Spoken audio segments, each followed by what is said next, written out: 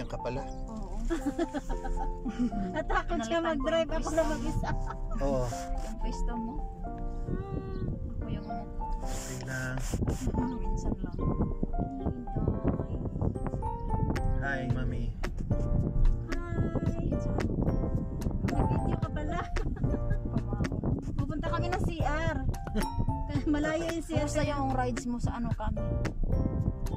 Okay naman. Pero Parang Mabaho. pag mababa ako, may langaw yung upuan. Tapos pag bumaba ako, biglang ano, umisasakit. Oh.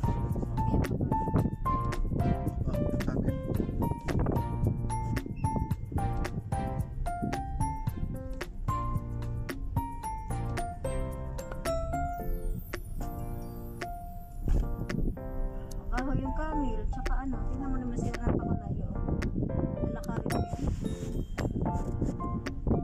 Ayun ba yung may puti? Hindi, yung yellow, nakalagay female, pero, ah, male, pero pwede daw male. Oo, tinanggal na yung zip eh.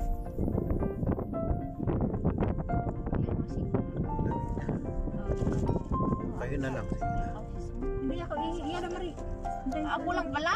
Oo. Alam ko, ikaw ah, iihit ka rin. Hindi. Yellow. Malayo eh.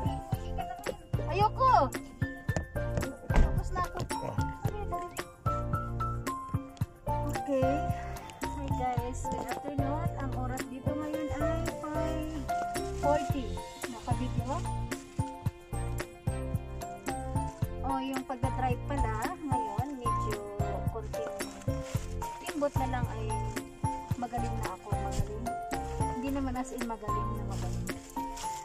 Kaya kailangan apakan mo lagi yung trino kapag ikaw ay padahan-dahan or ang alam mo matirik yung daanan mo tirik pababa pala i-ready mo yung trino mo kasi baka may kasalubong ka or something. So ngayon kahit paano ay alam ko na. Thank you nga pala sa nagtuturo sa akin. Si daddy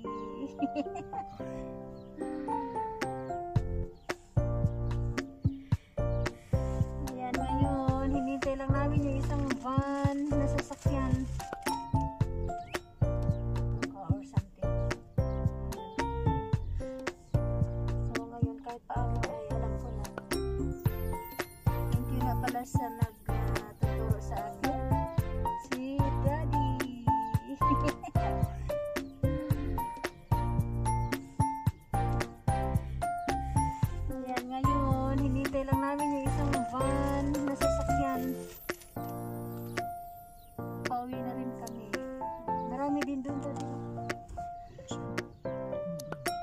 nila dito.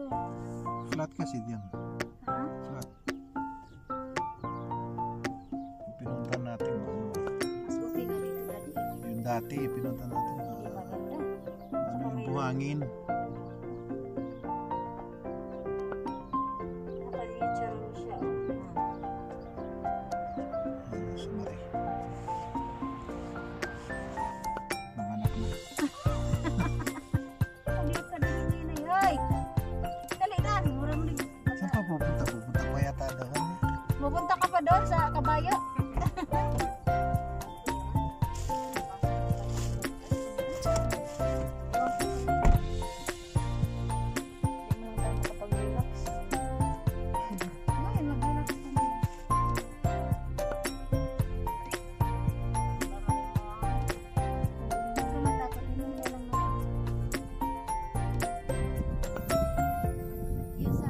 Taiwan ko, ang ganda. Ang tourist spot pala talaga to. Ayan.